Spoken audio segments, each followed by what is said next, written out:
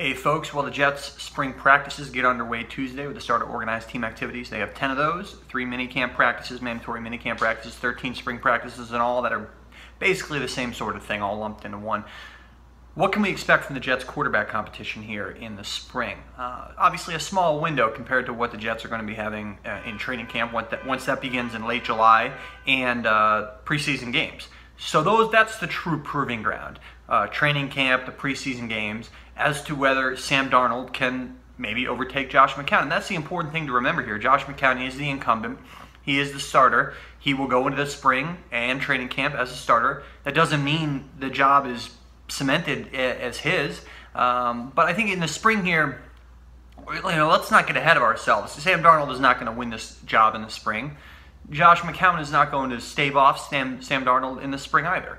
The spring for Sam Darnold is all about, uh, mainly about getting himself acclimated to Jeremy Bates' offense at a full speed pace against legitimately competent NFL players. And remember, he Sam Darnold's professional practices so far have been three rookie minicamp practices, and the vast majority of the players he was competing with and against were tryout guys who will never sniff the NFL. So you take that with a grain of salt for how he looked there and what he was able to get out of that experience. Uh, for Sam Darnold in the spring as a whole, in terms of these voluntary workouts, in terms of the rookie minicamp, and most importantly, in terms of the OTAs and minicamp, it's about getting himself acclimated with Bates' playbook um, and the nuances of it. Remember, McCown, yes, Bates is a new offensive coordinator for the Jets, but obviously there's a lot of carryover from what John Morton did last year. McCown is very familiar with what John Morton obviously did last year because he was the starting quarterback, and he's familiar with Bates because Bates was the quarterback's coach. So McCown has a leg up from an experience standpoint, not just with the Jets and their scheme